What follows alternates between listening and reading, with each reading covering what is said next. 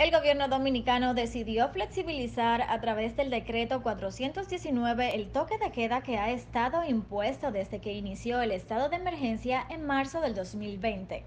Lo que ha llamado la atención de muchos ciudadanos es que esta medida sea tomada luego de una convocatoria a protesta que han hecho varios comerciantes y miembros de la sociedad civil para el próximo 15 de julio.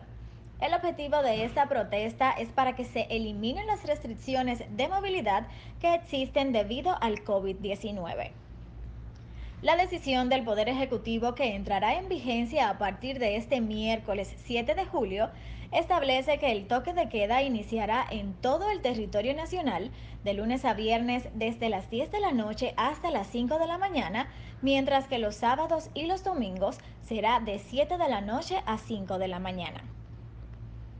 La nueva orden ejecutiva que permitirá a los ciudadanos de todo el país tener más tiempo para movilizarse y laborar no ha sido suficiente para los organizadores de esta manifestación que tendrá lugar en la Plaza de la Bandera, ya que estos continúan motivando a sus seguidores en contra del decreto presidencial.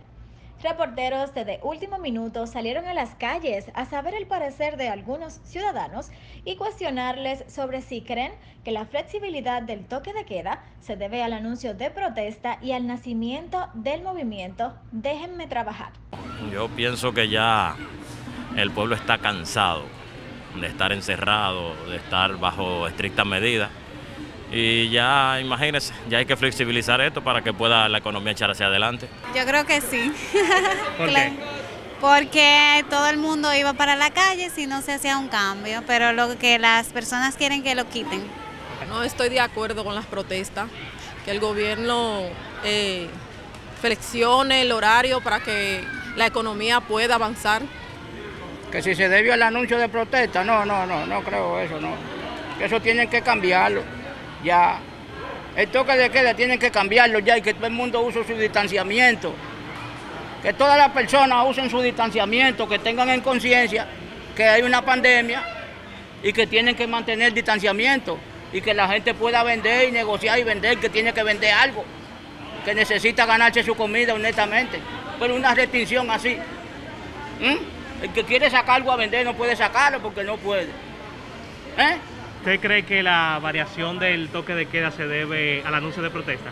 No, eh, entiendo que se debe a que eh, la positividad en las últimas semanas ha ido descendiendo y además eh, por el incremento de personas que han acudido al llamado del gobierno a vacunarse, sobre todo por esas dos situaciones. Sí, yo considero que realmente es una situación muy innecesaria el toque de queda, porque ya los grandes países han soltado eso y nosotros vamos ya para el país con más tiempo prolongado el toque de queda. Yo entiendo que no es necesario tenerlo. Pero porque mira cómo está la gente ahí.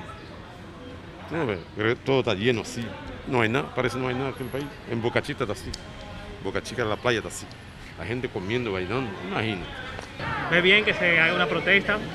No lo veo bien porque realmente eh, aunque económicamente eso perjudica a muchos negocios, a muchas personas, pero es la única manera que eh, lamentablemente el gobierno ha tenido para que las personas eh, guarden las, las disposiciones, el distanciamiento, etcétera, etcétera, etcétera.